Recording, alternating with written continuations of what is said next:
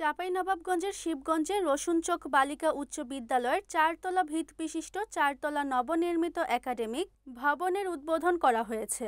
মঙ্গলবার আঠারো জুলাই দুপুরে শিক্ষা প্রকৌশল অধিদপ্তরের তত্ত্বাবধানে দুই কোটি আটত্রিশ লাখ টাকা ব্যয় করে এই নবনির্মিত একাডেমিক ভবনের উদ্বোধন করেন সংসদ সদস্য ও স্বরাষ্ট্র মন্ত্রণালয় সম্পর্কিত সংসদীয় স্থায়ী কমিটির সদস্য ডক্টর সামিল উদ্দিন আহমেদ শিমুল। এ সময় তিনি বলেন, প্রত্যেক অভিভাবকই চান তার সন্তান শিক্ষা দীক্ষায় সুনাগরিক হিসেবে গড়ে উঠুক। মূল্যবোধ সম্পন্ন উন্নীত নৈতিক চরিত্রের অধিকারী হোক। তাদের সে প্রত্যাশা পূরণে সরকার দেশের শিক্ষা খাতকে সর্বোচ্চ অগ্রাধিকার দিয়েছে। শিক্ষার্থীদের উদ্দেশ্যে তিনি বলেন, আগামী দিনের ভবিষ্যৎ শিক্ষার্থীরাই, একদিন তারাই দেশ চালাবে। কাজেই তারা নিজেরা যা শিখেছে তা সবার মাঝে ছড়িয়ে দিক। শেখ হাসিনা দেশপ্রেম ও দেশে শিক্ষার হার বাড়াতে বদ্ধপরিকর।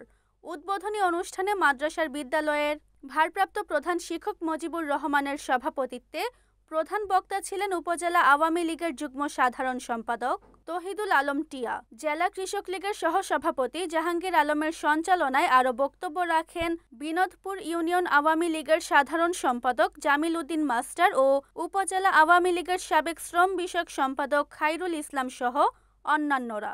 স্থানীয় সরকারি কর্মকর্তা শিক্ষক শিক্ষার্থী ও অভিভাবকবৃন্দ। Mohammad Sifat Rana Chapainawabganj NN TV